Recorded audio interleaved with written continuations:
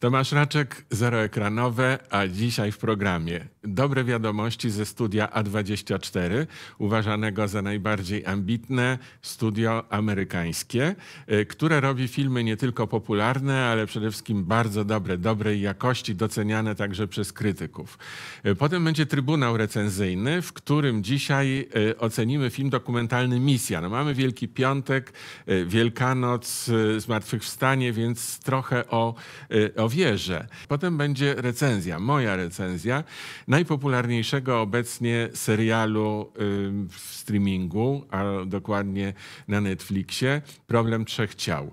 E, na świecie przyjmowany bardzo dobrze, u nas troszkę bardziej mieszane są chyba oceny. E, jaka jest moja, to za chwilę przedstawię. A potem konfrontacja z reżyserem, bardzo lubię ten format. Obok mnie usiądzie Christopher Rus, czyli reżyser filmu Za na bajki 2 i porozmawiamy o tym, jak y, ta kontynuacja jego przeboju dla młodych widzów wygląda. No i powiem, co myślę o tym filmie w oczy Christopherowi, a on się będzie bronił. Y, na końcu oczywiście box office, czyli kasa się musi zgadzać. To dzisiaj w programie. Głównym sponsorem kanału Zero jest rocketjobs.pl, twój portal z ofertami pracy.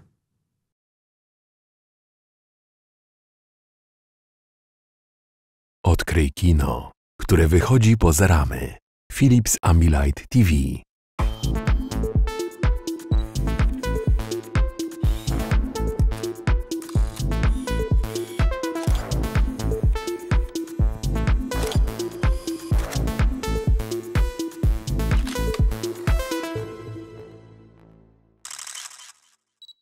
Studio A24 y, przekazało informację, że powstaje film biograficzny, tak zwany biopik, y, na temat życia Bruce'a Springsteena, y, czyli piosenkarza, gwiazdy, nazywanego najczęściej bossem po prostu. Ten fragment jego życia, który pokaże film, związany jest z rokiem 1982, kiedy nagrywał przebojową płytę Nebraska. Ale to, co najciekawsze, kto będzie będzie grał Bruce'a Springsteena. Otóż Jeremy Allen White. Kojarzycie go? To jest główny bohater serialu The Bear. Bardzo lubiany.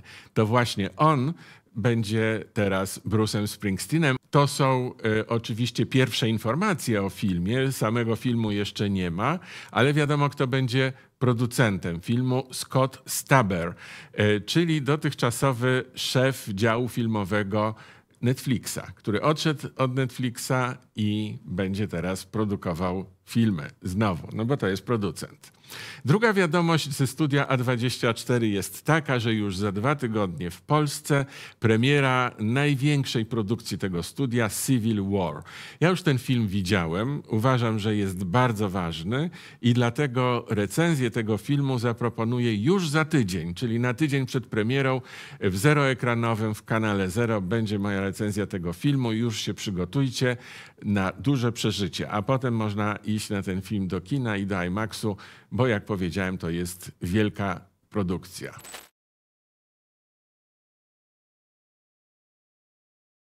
No więc zapraszam na Trybunał Recenzyjny. Dzisiaj będziemy mówili o filmie Misja. To jest film dokumentalny o misjonarzu. Film, który można obejrzeć w kinach. Właściwie mógłbym, y, mógłbym powiedzieć w dobrych kinach. Powiem w kinach studyjnych, w wybranych kinach, w tych kinach, które zdecydują się pokazywać film Misja i zwrócą się do dystrybutora z prośbą o udostępnienie im e, tej kopii. E, bardzo to skomplikowanie brzmi, ale zaraz zrozumiecie dlaczego. E, jeśli trybunał, to znaczy, że będzie obrońca i oskarżyciel. Ja dzisiaj w roli oskarżyciela, a w roli obrońcy Marcin Śliwiński. Witam serdecznie, witam serdecznie. Który jest youtuberem prowadzisz YouTube, e, e, na YouTubie swój kanał tak. z żoną. Z żoną Irminą, tak. Kanał o nazwie cudo.twórcy. Cudotwórcy, a w ogóle określasz się, że jesteś ewangelizatorem? Tak, świeckim ewangelizatorem. A oprócz tego jesteś filmowcem? Oprócz tego jestem filmowcem. W branży filmowej działam już od około 10 lat, nawet ponad. Y, zajmuję się, produkuję jakieś drobne rzeczy, jakieś reklamy, nie filmy, jeszcze nie, y, ale też montuję, y, zajmuję się też efektami specjalnymi. I AI korzysta. I AI, tak. Jak rok temu zaczął AI wchodzić i te pierwsze narzędzia AI-owe, to od razu stwierdziłem, że chcę to poznać, bo myślę, że jak coś poznajemy, to mniej się tego lękamy. I ja pod, przez to, że też poznałem AI, y, o wiele mniej się tego boję, bo powstaje też taka często otoczka, że no to trochę mamy się czego obawiać i, i tak dalej. I przez ten rok y, śledzę te poczynania, co się dzieje w tej dziedzinie, szczególnie w dziedzinie filmowej, jak powstają te rzeczy filmowe i sam tworzę też w AI-u. Chcę być w tym na bieżąco i chcę to poznawać cały czas. Czyli super nowocześnie, a jednocześnie jeździsz po Polsce i y, bierzesz udział, czy nawet organizujesz spotkania ewangelizujące, Ewangelizacyjne, tak. ewangelizacyjne w kościołach. W kościołach. Tak, głównie to są w kościołach, ale też w jakieś, czasami są jakieś takie konferencje, spotkania w jakichś salkach i tam też e, się modlimy z ludźmi. Dobrze, czy jesteś idealnym rozmówcą do y, y, rozmawiania o tym filmie i idealnym, żeby być obrońcą nie tyle filmu, Tak. bo dzisiaj będziemy Tak. mówili o głównym bohaterze. Główny bohater nazywał się John Chow, młody Mhm. chłopak. Młody. Taki chyba w twoim wieku, nie, młodszy. Tro- Młodszy, młodszy. Troszkę tak, tak, młodszy, bo on bardzo młodo zmarł, a właściwie został zabity. Mhm. E, W trakcie ewangelizacji, a właściwie nawet nawracania mieszkańców ostatniej wyspy podobno na świecie, nietkniętej cywilizacją, e, oni się nazywają Sentinelczykami, bo to tak. Sentinel północny w, na e, archipe, archipelagu andamańskim, który się mieści, czy leży, który leży e, na e, Oceanie Indyjskim pomiędzy Mianmarem, czyli dawną Birmą, a Indiami. Bardzo konkretne określenie, gdzie to wszystko jest. Tak, żebyśmy sobie wszyscy wyobrazili. Teraz zachęcamy, żeby zerknąć w mapę i znaleźć sobie to miejsce. Tak, no więc Sentinel Północny i tam to jest mała wyspa. Tak. I na tej wyspie żyje plemię, które od lat odmawia kontaktu z cywilizacji, z naszą cywilizacją. Nie chce, po prostu nie chce nikogo, żeby tam przypływał. Państwo y, y, y, tworzy pewien rodzaj zapory, żeby tam nikt się nie wybierał, bo to jest i niebezpieczne, i niepotrzebne. John Chow postanowił, że jednak złamie te zakazy, że się tam przedostanie w tajemnicy po to, żeby na plaży ich spotkać, jak oni wyjdą na spotkanie i z Biblią w ręku rozpocząć ich nawracanie Tak. na chrześcijaństwo. I teraz ta postawa e, będzie przedmiotem naszej rozmowy, bo oni nie chcieli tego. Oni go po prostu z łuku Oni nie tyle, co myślę, że też nie chcieli akurat tego, co akurat nie chcieli nikogo. Ja myślę, że tu też w tej historii warto zwrócić na to uwagę, że to nie jest tak, że oni nie chcieli ewangelizatora i nie chcieli zostać nawróceni, tylko nie chcieli nikogo ze świata. Nie? Tutaj mamy, wiadomo, akurat sytuację kogoś, kto chciał e, im głosić Jezusa, nie? więc doty, dotykamy, dotykamy tej sfery. E, Ale myślę, no tak jak mówię, że oni po prostu trzymają się z dala od, od całego świata i raczej oni nie analizowali, czy jest to ktoś, kto chce ich nawrócić, czy ktoś po prostu, kto chce im powiedzieć coś innego, dać dary i tak dalej. No ale on tam pojechał po Tak. to, popłynął, żeby, żeby ich nawrócić. Uważał to za swoje powołanie e, że, i, właściwie za taką misję życia. E, ale też miał w sobie taką potrzebę przygody. To znaczy, on chciał pojechać w miejsce, gdzie jeszcze nikt nie dotarł i zrobić coś, czego nikt wcześniej nie robił i poczuć się jak ci dawni chrześcijanie, którzy jechali w, y, y, no, w takie zakątki świata, gdzie jeszcze nie słyszano o chrześcijaństwie, nieśli, jak mówili, jak mówili dobrą nowinę, przyjeżdżali z Biblią i mówili, co zrobić, żeby nie być potępionym, żeby trafić do nieba, bo wierzyli w to, że ludzie nienawróceni będą, y, no nie, nie, nie dostaną się do, y, nie będą zbawieni. Tak, tak, tak. To prawda. Y, Jego powołanie było naprawdę bardzo, według, nie, według tego, co, co pisał, że to było jego powołanie, bo on to, bo on to czuł, bardzo oryginalne i bardzo takie y, specyficzne, no to już z naszej takiej perspektywy, nie? No Moim bo, zdaniem dzieciakowate było. y, Nie wiem, czy, czy Kościół pochwala coś takiego. Mhm. On był akurat z kościoła ewangelikalnego. My tu, ja jestem akurat z kościoła ka- katolickiego też, więc tu ciężko mi się wypowiadać na temat tych różnic. E, Ja myślę, że właśnie dochodzimy już tym pytaniem do takiego punktu, gdzie sobie ja też bardzo po tym e, filmie zacząłem zadawać, mm, że ten film też nam nie pokazuje takiej całej prawdy. Bo wiadomo, jak popatrzymy zero-jedynkowo, zero jedynkowo na tą, na tą AI, AI y, kanał zero, jedynkowo, y, na tą sytuację, no to wiadomo, y, to co powiedziałeś, sytuacja bardzo prosta. No jest dzieciak, który chce zrobić coś nielegalnego, który chce oddać swoje życie, gdzie ryzykuje po prostu swoim, swoim życiem. Wszyscy, mi, wszyscy mu mówią, nie jedź tam, to jest Wszyscy... za bardzo ryzykowne. To, nie, to jest niewarte tego ryzyka. Mhm. A on mówi, tak, ale ja chcę, ja wiem, ja czuję, to jest y, mhm. największa przygoda, jaka jest w tej chwili na świecie możliwa i ja chcę ją przeżyć. Tak, ale ja myślę, że ta historia przed powstaniem tego filmu była właśnie bardziej taka prosta. Że był chłopak, pojechał, misjonarz, źle zrobił, yy, zginął. To ty powiedziałeś, że źle zrobił. Y, mówię, że wcześniej ta his, historia była, myślę, że dla mediów po tak, prostu tak. Taka, taka, taka prosta. Nie mówię, że Nawet nie, jego ojciec tak uważa. Nie, nie, nie mówię, że dla mnie. A dla mnie, o dziwo, ten film, mimo że osobiście dla mnie bardzo, znaczy bardzo, mocno jednostronny. Myślę, że gdzieś yy, reżyser y, miał jakiś swój cel, który chciał pokazać. Mimo wszystko ten film pokazuje, że to nie jest takie proste, jak początkowo nam się mogło wydawać. Bo? Bo myślę, że y, dużo rzeczy y, nie wiemy i ten film też myślę, że starał się pewne rzeczy przekazać.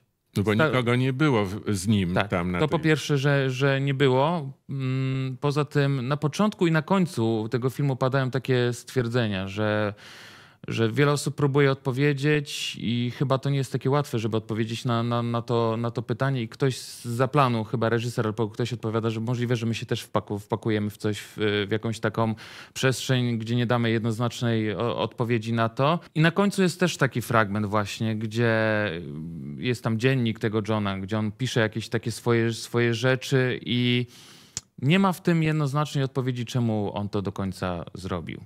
I to jest coś, co myślę, że ja po części trochę rozumiem y, jako osoba wierząca i jako osoba, która ma relację z Panem Bogiem i który na modlitwie y, stara się rozmawiać i stara się rozeznawać to, co ode mnie Pan Bóg chce. A ja... jesteś pewien, że ten, co chce od ciebie, to jest Pan Bóg? Skąd wiesz, że to jest akurat Pan Bóg? E, rozeznaję to sam. E, rozeznaję to na podstawie nauczania Kościoła, czyli patrzę, co Kościół na to mówi, że na przykład rozeznaję, że mam coś zrobić, ale później słucham, nie wiem, e, księży, czytam dokumenty Kościoła i widzę, że okej, okay, Kościół mówi inaczej, więc może to jednak nie jest dobre moje, moje rozeznanie. Nie mówię, że to jest zawsze, że 100% ja słyszę głos Boga i to jest zawsze, zawsze ten głos Boga, bo zawsze jest ten czynnik ludzki, zawsze są nasze myśli i tego się nie wyzbędziemy. Pewnie coś też o tym wiesz, ale do czego, e, mm, do czego chciałem dążyć? Mm, ja sam e, od początku wojny na Ukrainie byłem trzy razy na Ukrainie, w maju jadę czwarty raz. Mhm. Żeby głosić Ewangelię, żeby jeździć do wspólnot, które potrzebują usłyszeć dobrą, dobrą nowinę. I po ludzku jest to inna sytuacja. Oni nas zapraszają, oni nas tam chcą, e, ale jest to też pewne ryzyko mimo wszystko. Jadę do kraju, gdzie, gdzie jest wojna. E, I po ludzku ja sobie myślę, ok, może to jest nierozsądne. Z drugiej strony modlę się o to i czuję, że mam to zrobić. I byłem tam trzy razy i pojadę tam też czwarty raz i widzę owoce tych spotkań. Widzę po prostu, że ci ludzie mówią, że już nawet nie chodzi o jakieś takie górnolotne doznania jakieś, ale oni mówią, słuchajcie, dziękujemy, że jesteście, bo my mamy taką świadomość, że wy się o nas troszczycie, wy nas kochacie, bo przy, przy, przyjeżdżacie tutaj i ryzykujecie. Jest to dla nas takie ważne. A czemu ja to robię? Bo sam doświadczyłem takiej miłości Bożej i nie bez powodu Ewangelia nazywa się dobrą nowiną. I ja myślę, że nawet powinno się nazywać to najlepszą nowiną, jak dla mnie, bo to bardzo zmieniło moje życie i bardzo mocno definiowało moje życie i bardzo doprowadziło mnie do pięknych chwil w moim, w moim życiu. I tak jak się dzieją jakieś dobre rzeczy w naszym życiu, ktoś się zaręczy, ktoś jest w ciąży i nie możemy się powstrzymać od tego, żeby, żeby nie mówić o tym ludziom, bo jest to dla nas coś, co nas tak rozpiera, o tyle ta Ewangelia, której my doświadczamy, żywa Ewangelia, żywa relacja z Bogiem, myślę, że jest na tyle silna, że nie jesteśmy też do końca w stanie tego trzymać, trzymać dla siebie, tylko, tylko chcemy się dzielić. Chcemy, chcemy się tym dzielić. I myślę, że John czuł to samo, że chciał się dzielić tą dobrą nowiną, że to dla niego było na tyle ważne i na tyle jakoś e, sprawiało, że jego życie było pełniejsze, że on chce, chciał się dzielić. Ale poczekaj, mhm. bo bardzo ciekawie powiedziałeś o tym, jak jeździsz e, na Ukrainę i mhm. tam spotykasz ludzi, którzy są wdzięczni tak. za to, że przyjeżdżasz. Ale teraz postaw się w mhm. sytuacji mhm. Johna Chow, który jedzie tam, gdzie nie mhm. chcą go, mhm. którzy nie zapraszają go którzy nie są ciekawi tego, z czym on przyjeżdża i nie chcą, żeby on się dzielił swoją mhm. radością, ponieważ oni mają swoją radość, boją się człowieka, który przyjeżdża z mhm. innego świata, bo on razem z no, dobrą nowiną, mhm. oni mają swoje jakieś wierzenia. Razem z dobrą nowiną może przywieźć wirusy, bakterie, może spowodować, bo zamknięta wyspa tak. ma to do siebie, że jest bezpieczna. Ma swój ekosystem i w ogóle. Tak. Ekosystem. Tak. I nagle on, i wiesz, to, że on przywozi ze sobą wirusy i bakterie, to jest razem z tą dobrą nowiną. Mhm. I dobra nowina może też okazać się takim wirusem, który zniszczy ich dotychczasowy mhm. system życia, w którym oni się odnajdują i są mhm. zadowoleni. Oni nie szukają, nie wyjeżdżają z tej wyspy, nie wypływają w poszukiwaniu czegoś, co im pomoże żyć, bo już nie dają mhm. rady. Oni są na niej i są z tego zadowoleni. W związku z tym zastanawiam się, czy taka misja ewangelizacyjna mhm. nie jest dowodem pychy. To mhm. znaczy, ja wiem lepiej od was, co jest mhm. dobre i ja wam tu pokażę, co wy powin- w co powinniście wierzyć, co, co jest lepsze od tego, co mhm. jest waszym życiem i dopiero wtedy będziecie szczęśliwi. Ja wam to mówię jako mhm. człowiek, który tego doświadczył, ja wiem lepiej niż wy. Dla mnie to trochę pachnie pychą. Mhm. Ja myślę sobie w kontekście Johna też, yy odnośnie tego wszystkiego o, w miejscu, w którym on się wychował i w czym się wychował. I rozumiem, co mówisz, yy, i rozumiem tą obronę. I myślę, że u Johna po prostu mogły się zmieszać yy, chęć wyrażania tego. Uważam, że to jest piękna chęć dzielenia się tą dobrą, dobrą nowiną i chce dobrą nowiną i chce, i chce to obronić. Ale A... wiesz, że krzyżowcy jak, jak zdobywali świat i mordowali po drodze mhm. y, tysiące ludzi w czasie wypraw mhm. krzyżowych, to też mówili tak samo. Znaczy chcieli się dzielić dobrą nowiną, swoją wiarą i generalnie rozprzestrzeniać najlepszą e, religię na świecie, żeby objęła cały świat i niewiernych wyeliminowała. Tak samo mówili. Nie chcę poruszać temat krzyżowców, nie czuję się tutaj specjalistą, więc nie chcę wymyślać i tutaj e, jakoś bronić tego tematu, ale mogę ci polecić książkę o e, krucjatach i o krzyżowcach biskupa Rysia który bardzo, słyszałem to od kilku osób, które czytałem, bardzo odczarowuje tak jakby e, właśnie krzyżowców i te, tych, te trochę takie niektóre mity. Bo ja myślę, że dużo mitów po, powstało, powstało na ten temat. Ale wracając do tematu Johna, skupmy się na filmie i na, na jego historii. W filmie dowiadujemy się, że on był takim podróżnikiem, był osobą, która pragnęła doświadczać czegoś więcej, też nie tyle w kontekście wiary, ale w, te, w kontekście takiego doświadczenia życiowego, jakiejś podróży, zdobywania no, nowych rzeczy. Tam są fragmenty, jak pływa po rzekach, jak wspina się w góry i tak dalej. I, myślę, że to miało też wpływ na, na tą jego decyzję, że akurat chciał się, chciał się tam, tam e, dzielić tymi rzeczami. Nie? Więc ciężko mi po prostu też w tym kontekście wejść w, w skórę e, Johna po prostu, bo ja taki znowu nie jestem. Nie? Ja jestem bardzo o dziwo zdroworozsądkowy, mimo że robię to co, to, co, to, co robię. Nie popłynąłbyś na Sentinelę? Y, myślę, że bym nie popłynął na Sentinelę. Y Myślę, że ja bym, ja bym nie popłynął, ale, yy, ale bardziej chcę się skupić tutaj w tej obronie Johna na tej y, chęci i pragnieniu po prostu głoszenia głoszenia tego, co on sam, sam doświadczył, bo wierzę, że to mogło być prawdziwe, a to jest coś, co nam e, żadne dokumenty, żadne historie do końca nie odpowiedzą, co on czuł w swojej relacji z, z Panem Bogiem. Trybunał recenzyjny ocenia teraz film dokumentalny Misja, który jest na naszych ekranach. Ile dajesz temu filmowi w skali od 1 do 10? Eee, dam chyba 6 yy, i uargumentuję to. Yy, dam 6. Sam film jest dla mnie po prostu zrealizowany ok. Za realizację nawet dałbym 4. Ale dałbym 6 z jednego powodu, że to, co wspominałem, że miałem wrażenie, że ten film jest bardzo jednostronny i że on chce już tutaj ocenić, myślę, że podobnie jak ty, Johna, ale paradoksalnie on dodaje dużo argumentów Johnowi za tym, że ta decyzja nie była jakaś taka głupia do końca, bo widzimy, że on był super przygotowany. On miał na to plan.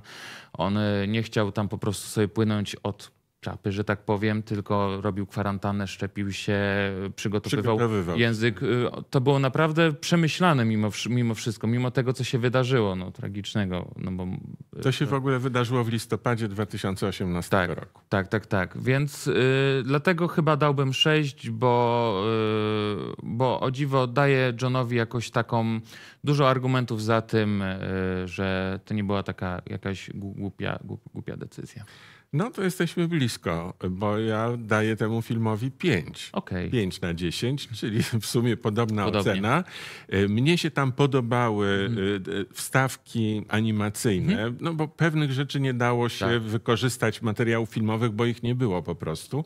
Albo były bardzo intymne, na przykład zwierzenia ojca, który był bardzo mądrym szekiem, jest psychiatrą w tak. ogóle z wykształcenia i który krytykował swojego syna, starał się odwieźć go Mhm. tego pomysłu. No potem, kiedy się dowiedział, że syn zginął, e, no, rozważał, Tak. jak do tego doszło. I to było właśnie w postaci takiego filmu, e, wmontowywanego Mhm. filmu mm, e, animowanego. Bardzo moim zdaniem fajnie, ładnie. O, tutaj mamy za sobą właśnie Tak, ten to ma- fragment animowany.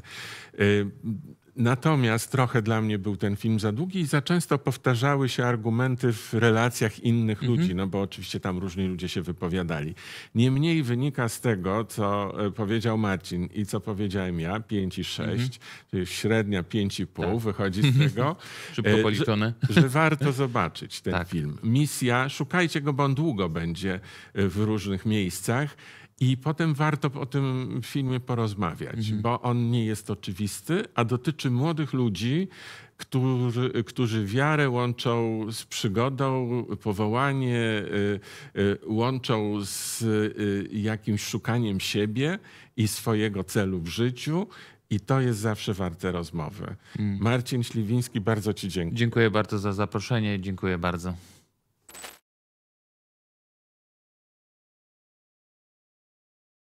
Numer jeden na liście bestsellerów Netflixa Problem Trzech Ciał. Y, Serial ośmioodcinkowy, którego twórcami są David Benioff i D.B. Weiss. Y, Pewnie kojarzycie ich, bo to są twórcy serialu Gra o Tron i od czasu tamtego serialu wszyscy czekali, co to będzie, co to będzie. Jak zrobią kolejny serial, to będzie taki sam przebój jak Gra o Tron. Y, No więc problem trzech ciał ma dobre oceny na świecie, ale jednak wydaje się, że jest rozczarowaniem w porównaniu z Grą o Tron. W każdym razie w moich oczach jest rozczarowaniem. Jest jeszcze jeden powód y, i jedno porównanie. Już tu tym razem nie do serialu Gra o Tron, tylko do drugiego serialu Problem trzech ciał, który został zrealizowany w Chinach. I podobno ten chiński, ja go nie widziałem, jest ciekawszy niż ten amerykański, o którym dzisiaj mówimy. Tak mówią Chińczycy, ale tak mówią również ci, którzy oglądali ten chiński i porównują. Dlaczego y, tutaj tylu mamy Chińczyków w grze? No bo to jest na podstawie chińskiej powieści, którą napisał Cixin Liu, jeśli dobrze czytam po chińsku, a jeśli niedobrze, to wybaczcie mi. I powiem, jaka jest główna różnica. Y, Ta różnica, która powoduje, że amerykański serial w Chinach został źle przyjęty przede wszystkim przez władze, polega na tym, że serial rozpoczyna się od ym, retrospekcji. Y, Czyli od roku 1966 Chiny, Mao Zedong i rewolucja kulturalna, czerwone książeczki. Ci starsi widzowie pamiętają, ja jeszcze pamiętam, chodziłem do ambasady chińskiej w Warszawie, tam rozdawano znaczki z Mao Tse-tungiem i, i czerwone książeczki i w ten sposób jakoś protestowaliśmy przeciwko e, komunie tej rosyjskiej, radzieckiej komunie. Wydawało nam się, że komuna chińska już jest wystarczającym protestem. To takie szczeniackie były zabawy. Ale to właśnie z tego okresu, z tego okresu mamy rewolucję kulturalną. Ona była brutalna. Mordowano ludzi, zabijano kulturę niszczono zabytki. E, no i od, zaczyna się od egzekucji nau, y, y, naukowca wybitnego naukowca chińskiego, który nie zgadzał się z linią partii. I to wystarczyło, żeby go zamordować publicznie. E, temu przygląda się jego córka i ona stanie się główną bohaterką, a na pewno głównym elementem łączącym tamten rok 1966 z dzisiejszymi czasami. Grają Rosalind Chao i ta bohaterka nazywa się Ye Weni. Cały czas przepraszam, jeśli to jest po chińsku nie dokładnie to, o co chodzi. I co się dzieje? W dzisiejszych czasach mamy naukowców, I, i, i, I zaczyna się to kryminalnie, bo oni zaczynają ginąć. Wybitni naukowcy zajmujący się nanotechnologią, na przykład kosmosem, relacją z innymi cywilizacjami, oni giną. Nie wiadomo dlaczego giną, więc wydawałoby się kryminał. Tam mieliśmy retrospekcję z Chin z 66 roku, z czasów rewolucji e, kulturalnej, więc wydawałoby się trochę historii, trochę polityki. I to właśnie się tak strasznie nie podobało Chińczykom, dlatego ten serial źle tam jest widziany, ten amerykański. Ale Wreszcie okazuje się, że to jeszcze nie o to chodzi, bo jeszcze mamy tu grę komputerową, w którą wchodzimy, a więc świat wirtualny. No i jest nadzieja, ach, to tam się zanurzymy w tej grze i dopiero będzie y, fantastyczny świat. Może nareszcie ktoś nam pokaże w serialu czy, czy w filmie ten świat tak, jakbyśmy chcieli go obejrzeć. To znaczy, że mamy poczucie, że w niego wchodzimy i że odkrywamy to, co w zwykłym świetle jest niemożliwe. W zwykłym świecie jest niemożliwe. No troszeczkę jest krok w tę stronę, ale cały czas niewystarczająco. Więc mamy mordy naukowców, mamy y, y, trochę historii, trochę polityki, trochę świata wirtualnego, ale wszystkiego jest trochę za mało. Mamy też i miłość, y, i, i, i, i trochę takiej, tak, takiego prawdziwego, nieszczęśliwego love story, czyli impossible love, czyli niemożliwa miłość. Podobno taka jest najprawdziwsza i taka jest najsilniejsza i o takiej na pewno jest najłatwiej i najciekawiej robić filmy. Wszystko to jest w tym serialu. I mamy mnóstwo bohaterów. I właśnie ta mnogość jest moim zdaniem przyczyną słabości tego filmu. Wszystkiego jest za dużo. Za dużo bohaterów, za dużo wątków, za dużo konwencji, zostało to wymieszane, nie dość dokładnie oddzielone jedno od drugiego. Te wątki, które się tak przewijają i na zmianę wychodzą na powierzchnię, niezbyt są czytelne w związku z tym. No i na koniec mamy to, na co najbardziej liczymy i co nam zapowiada plakat, mianowicie kontakt z inną rzeczywistością, z jakąś inną cywilizacją groźną, której się boimy za 400 lat ma dotrzeć na Ziemię i ma zniszczyć naszą cywilizację. Ale czy na pewno. Ale czy może przez te 400 lat uda nam się e, stworzyć jakąś linię obrony, a może z nimi porozumieć? No o tym też jest ten serial. Właśnie o tym wszystkim i nie dość o tym wszystkim w każdej z tych dziedzin pozostaje nieusatysfakcjonowane. Dlatego ode mnie dla serialu Problem Trzech Ciał 5 na 10. A jeśli macie inne zdanie albo chcecie jeszcze coś powiedzieć, to proszę w komentarzach pod programem dawajcie znać. Dyskusja będzie się toczyła dalej. No a teraz czas na konfrontację.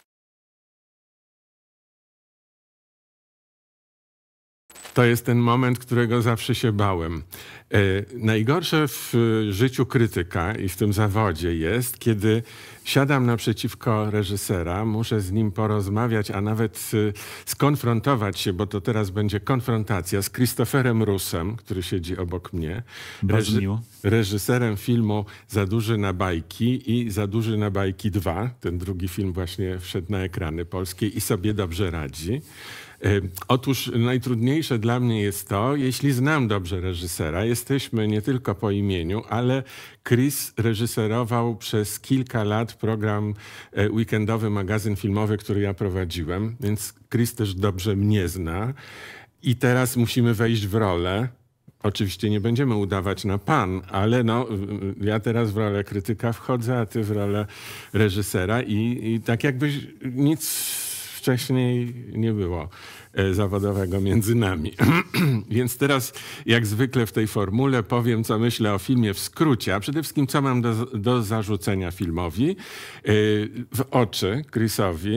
E, Chris się do tego ustosunkuje, a potem to już normalnie będziemy rozmawiali o filmie Za duży na bajki 2. Więc zacznę od tego, że Za duży na bajki, film, który był dwa lata temu, to była rewelacja. To był film, który no, naprawdę zrewolucjonizował kino dla młodego widza w Polsce. Polsce po latach, bo y, jeszcze w dawnych latach 60., 70., e, y, to naprawdę trzymało się polskie kino dla młodego widza. Na sweter to był wielki mistrz. Potem było załamanie pod koniec XX wieku i teraz kino dla młodych widzów odrabia straty. No i y, różne są tam robione kroki, ale kiedy pojawił się film Za duży na bajki, to była rewelacja. I bardzo dobre też wyniki, prawda? E, tak, to były dobre wyniki w kinach. Najpierw tam ponad 300 tysięcy widzów. W czasie takim post, postpandemicznym i jeszcze niestety wojna wybuchła właśnie wtedy też, więc to nie był najlepszy Ukraina. czas. Tak. E, I później na, na, na Netflixie to, to bardzo dobrze sobie radzi. Był tam top, e, na top 10 w 30 krajach chyba jako nieanglojęzyczny film. No to, to ja, było super. Ja dawałem no i, 7 na 10 wtedy. I, I, nawet, a, dziękuję bardzo. Nawet, nawet na top 10 w Stanach Zjednoczonych był film, gdzie nasz Maciek Karaś, który nigdy nie był przed kamerą, nagle walczył e, na top 10 o pierwsze miejsce razem z Ryanem Goslingiem i Tomem Cruise'em. To było bardzo zabawne. No. no i teraz to jest wysoki poziom, do którego dwójka musiała równać. I moim zdaniem nie dorówna. To znaczy ta, ten drugi film już nie jest tak mocny, przede wszystkim nie jest tak świeży, nie ma w sobie tej takiej finezji, delikatności, którą był robiony, bo w nim było dużo wdzięków w pierwszym filmie i e, tak, dużo było takiego naturalnego ciepła e, i e, mało było uproszczeń. A w kinach dla młodych widzów to są właśnie największe wady, że są uproszczone emocje, uważa się, że dzieciom trzeba skrótowo wszystko podawać i tylko z grubsza. No a tam było to takie wrażliwą ręką robione. Mam wrażenie, że ręka ci się usztywniła, albo usztywnili cię producenci, bo zauważyłem, że w pierwszym filmie miałeś sporo różnych e, producentów, którzy no, może złożyli się na to, że dali ci warunki do takiej wrażliwej delikatności, a tu już jest trochę inna ręka producencka i ja ją czuję. Ja czuję po prostu, że coś się usztywniło, że coś się skomercjalizowało bardziej i, yy, i coś się zrobiło takiego, co ja nazywam zdradą. Zdrada polega na tym, że w pierwszym filmie mieliśmy dzieci głównymi bohaterami. No Maciek Karaś, czyli ten chłopiec, który jest y, mm, no, y, y, taki, taki przy kości trochę, ja taki byłem, jak byłem w wieku szkolnym, ma ewidentny talent i ma przede wszystkim czar, ma, ma charyzmę, jego się ogląda. Nie dziwię się, że z Goslingiem konkurował. Mm, ale tutaj on już jest teraz dwa lata starszy jakby uleciało trochę z niego, trochę te, tego, co było wcześniej, wdzięku trochę. Te, być może wszyscy, wszystkie dzieci jak dorośleją i przechodzą przez okres dojrzewania, to właśnie tracą ten dziecięcy wdzięk. Może tak. On nie stracił, ale yy, znaczy trochę stracił, nie całkiem. I tutaj mam wrażenie, to co powiedziałem, zdradą, zdradą młodych y, bohaterów jest to, że w pierwszym filmie oni byli na pierwszym planie. Oni byli najważniejsi. Dorośli, mama Karolina Gruszka, dziadek Andrzej Grabowski, byli ważnymi dorosłymi osobami, ale widzianymi poprzez życie dzieciaka, no głównie y, y, tego Waldiego, którego gra Maciej Karaś. Teraz mamy dużo nowych dorosłych. Mamy ojca y, Waldiego, który się nagle pojawił. Mamy kolejnych bohaterów. Grają Paweł Domagała, chłopaka mamy. Gra y, Michał Żurawski, odnalezionego ojca. Grzegorz Małecki gra Bacę, który robi oscypki, bo rzecz się dzieje w górach. Mhm. Mamy Rafała Zawieruchę, który gra y, biologa. I jakby się ta, ten ciężar przeniósł na dorosłych. Tak jakby oni stali się ważniejsi. Te dzieci się plączą pomiędzy nimi, ale już nie idziemy razem z dziećmi, tylko bardziej jesteśmy zainteresowani dorosłymi. I ja to nazwałem zdradą młodych bohaterów.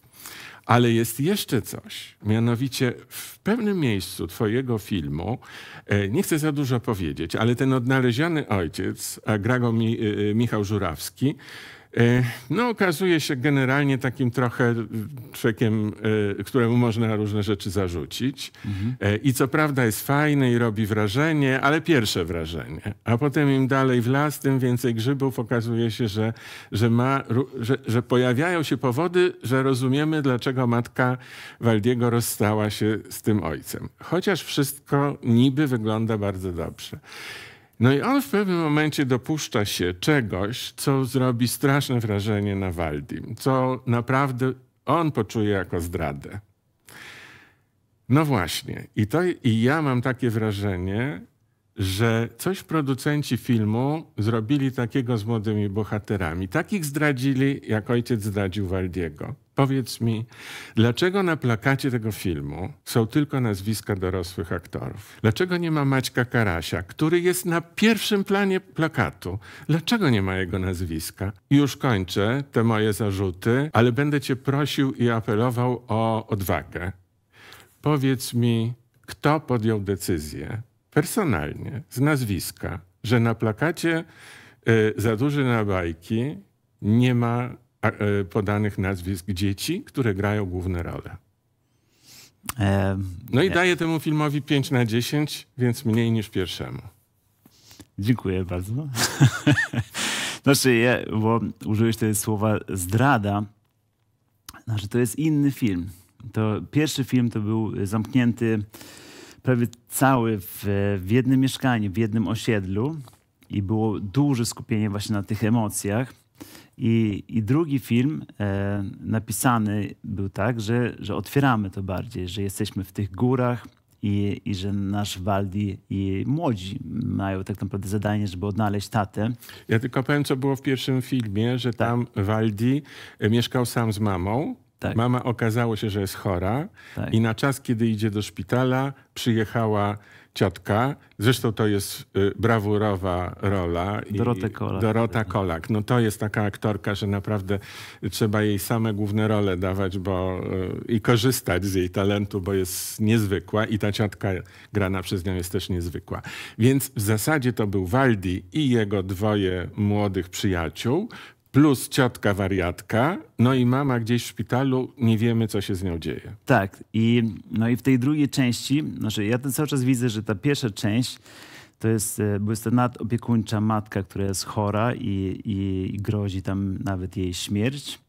E, I ona jedzie do szpitala w pierwszej części i właśnie ta ciotka, e, zagrana przez Dorotę Kolak, przyjeżdża i wywraca do góry nogami świat Waldka, ale tak naprawdę pomaga mu stać na własnych nogach i być samodzielnym. Mhm. I, no i, i zwalczyć trochę te tusze, bo każe mu biegać, tak. jeździć na rowerze, tak, y, no. sprawdza co on je, nie daje mu czekoladek. No, Dokładnie. Katuje go, no. Trochę tak, no ale, ale w dobrej intencji.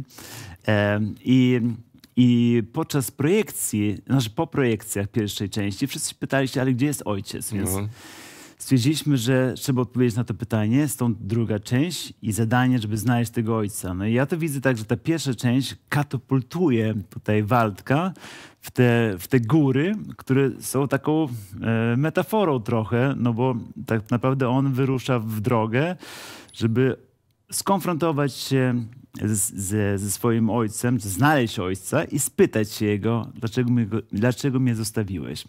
Ale zobacz, w drugim filmie trochę na skróty jest ta historia powiedziana. No, na, on niby A, nie właśnie, wie, gdzie ten zgub, ojciec zgubiłem jest. wątek trochę, no. bo, bo, wracając do, do, tutaj, do zarzutu pierwszego, że, e, że młodzi nie są na pierwszym planie. Znaczy, siłą rzeczy trochę jest może mniej emocji takich, no, jak było w pierwszej części. Mniej I- prawdziwych emocji, bo tu emocje są, są, tylko bardziej deklarowane.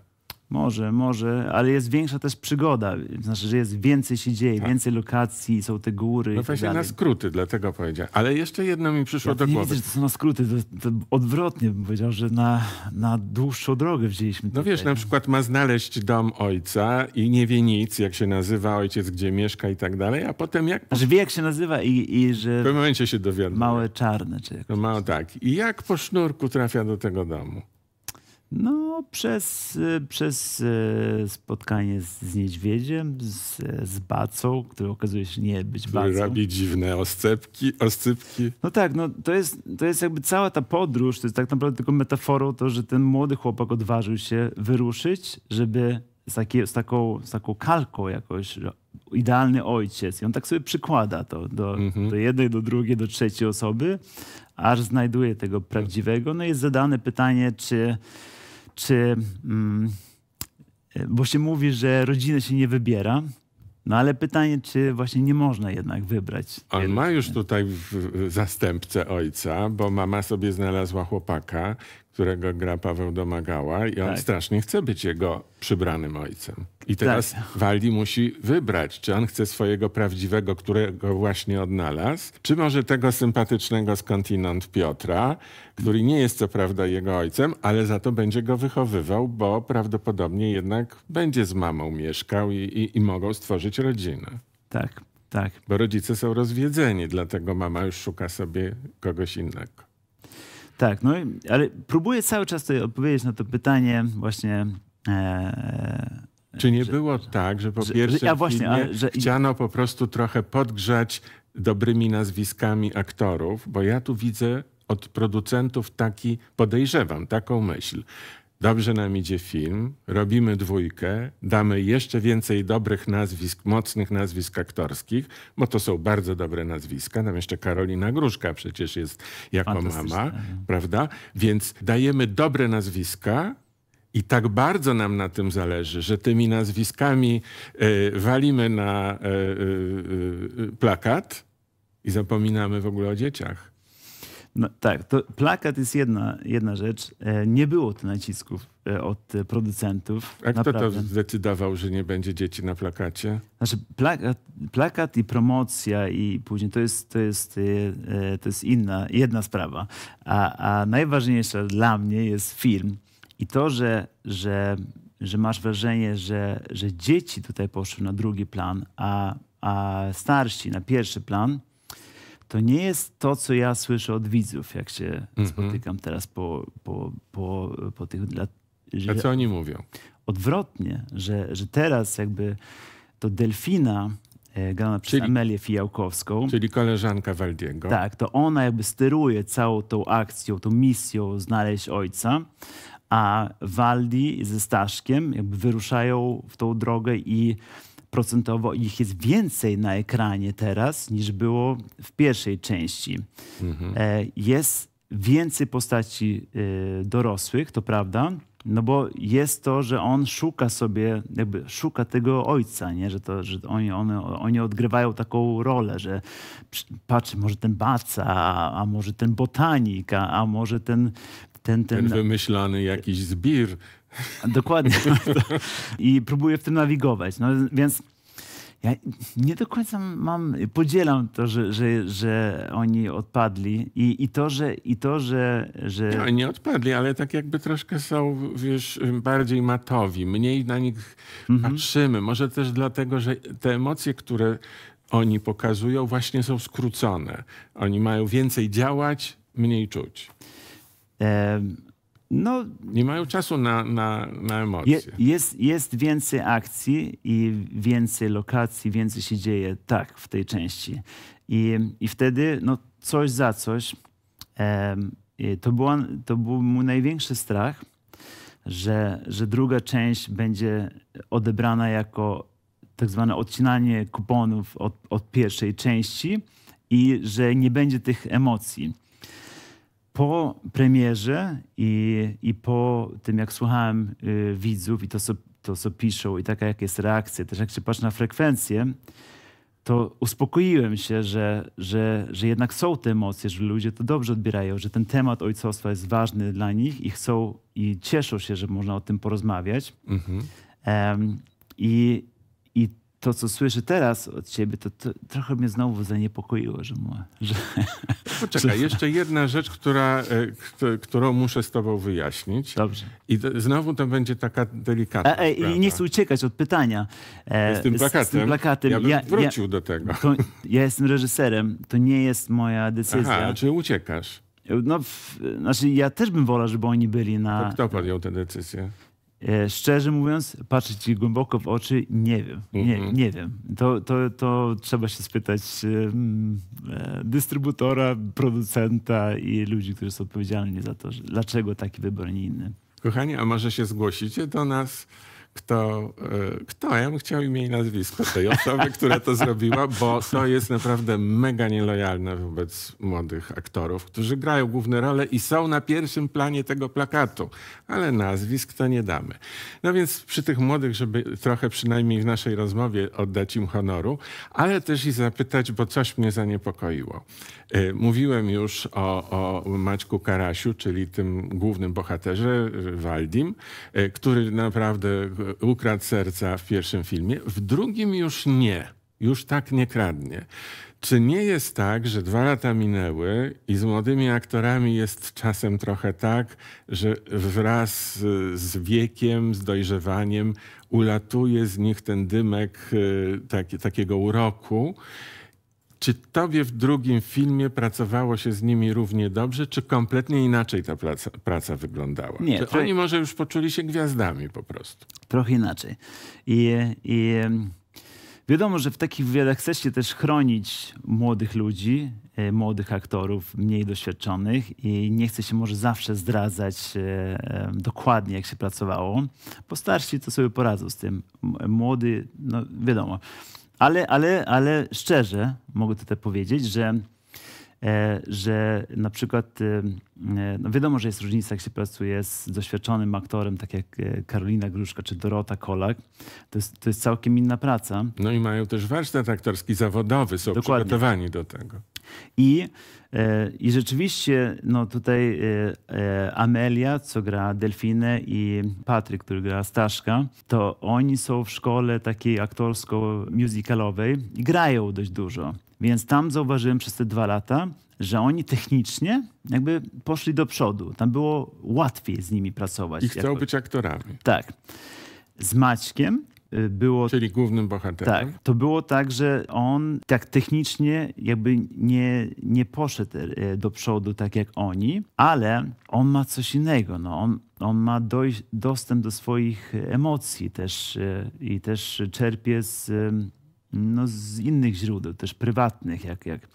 I on jest mega inteligentnym chłopakiem i też bardzo się stara. To też nie było łatwe po tych górach robić te duble, góra, dół, na Kasprowy wierch, tutaj jeszcze raz, jeszcze raz do góry. Em, i, No i ale on, i on du- ciocia byłaby zadowolona, że zrzuci parę kilogramów przy okazji. ale on, on dał z siebie naprawdę dużo i, i uważam, że, że, że to, co może technicznie, doświadczeniem nie, jakby mu brakowało, to, to nadrabiał jednak swoim takim hartem e, ducha i, i, i to, że jest fantastycznym człowiekiem i że rozumie, jak się rozmawia o emocjach z nim. I więc, więc praca była inna tym razem i wiadomo, że, że, że, że z Maćkiem, no to on też chciał zagrać teraz. E, no ale nie do końca ma, no, nie ma tych, tych narzędzi, co, co mają ci starsi, doświadczeni aktorzy. Więc e, szczerze teraz mówię, jestem bardzo zadowolony z tej współpracy. Musiałem trochę uważać, żeby, żeby Maciek był bliżej swoich emocji i siebie, niż, niż używać narzędzi, które nie są jeszcze doszlifowane. Mhm. I, I razem jakby w, tym, w, tym, e, mm, w tej grupie aktorów, to no, moim zdaniem odbiór jest twój oczywiście. Masz, należy ci się też jakby, o- jaki jak to odbierasz, ale y, intencja moja była taka, żeby nie zgubić ich jakby w tej większej e, przygodzie i w tych lokacjach, w tych górach, żeby jednak te momenty, kiedy ma być serce czuć, żeby to było. Je, jeśli tak jest, to mi się udało i słyszę od widzów, że się udało. Nie od wszystkich. Słyszę od siebie, że mm, nie do końca lepsza może była pierwsza część i przyjmuję to. I to też jest coś, co biorę ze sobą i, i, i trzeba to przemyśleć. No, dlaczego to przemyśleć, jest bo będzie trójka, zdaje się. Czy będzie trójka, nie wiem jeszcze, ale mamy pomysł na to i chcemy, żeby była. Pomysł z Agnieszką Dąbrowską, Tak jest. No. bo ona jest autorką scenariusza. Tak, ona jest autorką pierwszej książki, Zadłużone bajki, od którego to się wszystko zaczęło i, i też scenariusz y, jednego i drugiego filmu. No. No widzisz, i w tym, co powiedziałeś, jeszcze tkwi kolejne moje podejrzenie. Mianowicie, że ten pierwszy pro, e, film był oparty na książce, sprawdzonej, dopracowanej, takiej przemyślanej, a drugi film już był scenariusz pisany specjalnie do filmu. Tak, no. I to jest trochę inna robota. Jest. Wiesz, autor, jak pisze książkę, ja to wiem, bo mam pisarza w domu. Więc autor, jak pisze książkę, to jest sam. I może wszystko sobie w głowie ułożyć logicznie. Tyle lat jestem w, świecie filmu, że wiem, jak się pisze scenariusze. W scenariuszu ciągle ktoś się wtrąca. I ciągle mówi, nie, słuchaj, to to lepiej byłoby tak, to to zrób inaczej. I ten autor nie jest już w tej samej sytuacji, co wtedy, gdy pisał książkę. I zastanawiam się, czy z tego ta różnica nie wynika, że tam mieliśmy to, to takie, wiesz, wewnętrzną energię, a tu, że tak jest trochę e, e, sz- szybko, szybko do celu. Znaczy ja, no... y, Że y, ktoś się jej wtrącał, pani Agnieszce. Tomku, ja słyszę, że próbujesz zbudować tutaj taki konflikt, że są ci, są ci autorzy, artyści, którzy chcą tylko pokazać to bijące serce, Tak. a ci producenci tylko tam liczą kasę w tle. No, coś takiego. No, ja nie odbieram tego w ten sposób tutaj. Naprawdę było w, e, duża swoboda i, i dobra wola producenta Mikołaja Pokrowskiego, który produkował ten film. Oba filmy produkował. Obraw, tak. E, i, I to, że jeden film jest taki, a drugi jest inny, bierze się z wielu rzeczy. No i on jest inaczej napisany. Jest. E, czy to jest lepiej, czy gorzej, e, to się okaże. Na razie, i, i to jeśli czytałeś i, i, i recenzję, to jednak ludzie pozytywnie jakby odbierają tą drugą część. I, i słyszałem wiele razy, że ona jest lepsza od pierwszej. Że, że, że jest trochę inny go w tym. I to jest inna i coś za coś. Może jest mniej tego skupienia, że ta kamera się zatrzymuje i patrzy i obserwuje tego bohatera. A może to jest tak, że, że ta obserwacja musi być inna, bo to jest inna historia. Jakby i za tym poszliśmy. Ja w trakcie produkcji zrozumiałem, że to nie jest kontynuacja, że to jest osobny film. Przyjmuję i- wyjaśnienie. I próbowałem nawet później w postprodukcji, to mi tak zostało, muzykę, co zrobił Karol Martusewicz, z pierwszej części przełożyć na drugą, tak kopiuj w klej. I to się nie sprawdzało i męczyliśmy się z tym, dopóki nie zrozumieliśmy, że nie można te, do tego podchodzić, że to jest jeden film podzielony na dwa. Nie jest. To są dwa różne filmy. Jeden był adaptacją książki, e, drugi był na podstawie oryginalnego scenariusza. E, I, I chcieliśmy, żeby te góry było taką metaforą, że wyrusza ten mały człowiek z kolegą w te wielkie góry, pełne lęku, on jest pełen lęku i czy to się uda, czy nie, tych, tych zagrożeń, ale jednak to robi i że to, ta metafora, że trzeba zrobić ten krok i trzeba się odważyć, żeby skonfrontować się na przykład tutaj z ojcem i spytać się, dlaczego mnie zostawiłeś, to nam przyświecało i co się z tego udało, co nie, no to, to już widzom zostawiam i, i tobie. Ja jestem ciekaw, co będzie w trójce, bo chłopcy już dorosną, wiesz, głosy im się zmienią, mutacja A już Maciek ma tak Maciek, zmieniony tak, ale- Ja nie poznałem, jak usłyszałem w No, voice jak się wąs sypnie i w ogóle generalnie już będą trochę inni, to to dopiero trzeba będzie wymyślić zupełnie inaczej. Ale to zostawmy sobie na, na przyszłość. Na razie ci gratuluję dobrego box office'u e, i tego, że film się udał. Generalnie się udał. Liczę, że trójka będzie lepsza jeszcze i, i, i, i wróci do tej jakości jedynki. Bardzo ci tego życzę. I pewnie się nie spodziewałeś, że w rozmowie ze mną tak będziesz się musiał pocić. E, spodziewałem się, znam cię na tym, ale nie byłem na to przygotowany. Próbowałem się przygotować, ale nie byłem do końca przygotowany, ale przyjmuję to, to jest, no, to jest właśnie po to jest rozmowa i też jest, e, że krytyk filmowy to jest właśnie, to musi być jakieś starcie, no, żeby, żeby to też jest dobre dla filmu, no, nawet jak się nie zgadzamy we wszystkich kwestiach. No i ja na to liczę. Chris Rus, nazwisko dlatego, że jest trochę Szwedem, prawda? E, Tak, e, mama, mama e, jest Polką, ojciec jest Szwedem. Chris Rus był moim gościem, reżyser filmu Za duży na bajki i Za duży na bajki 2. Zapraszamy do kina.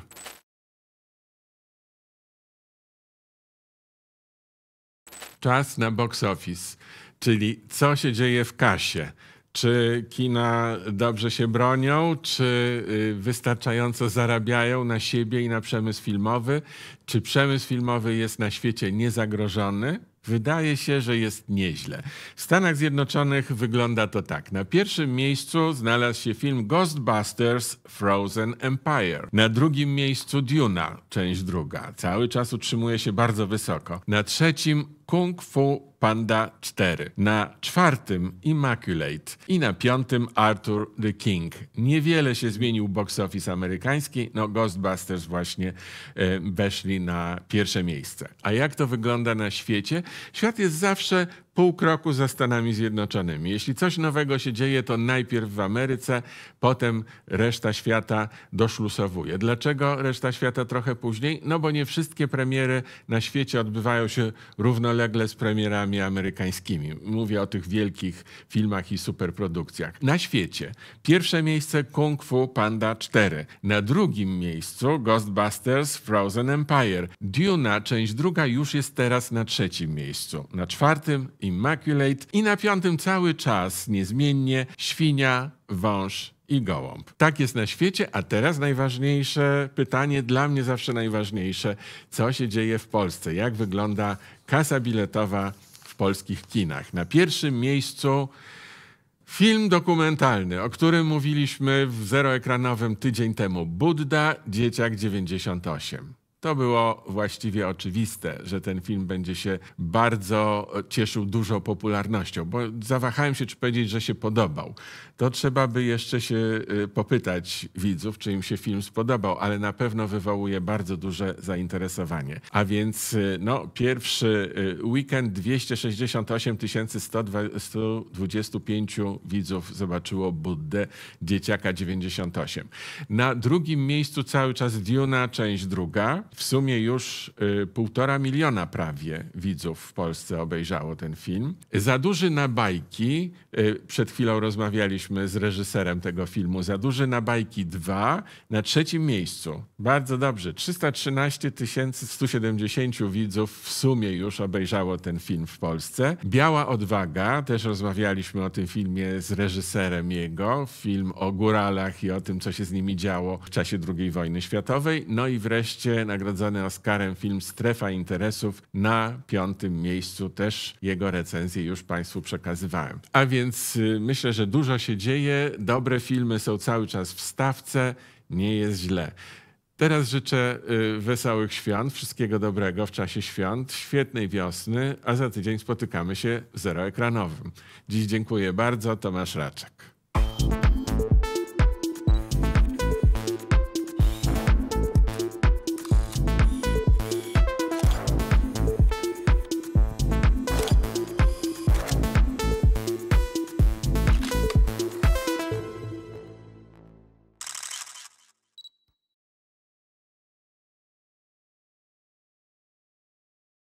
Głównym sponsorem kanału Zero jest rocketjobs.pl, Twój portal z ofertami pracy.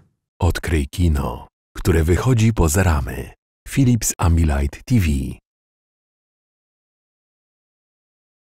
Kliknij w jeden z polecanych filmów, aby obejrzeć najlepsze produkcje kanału Zero.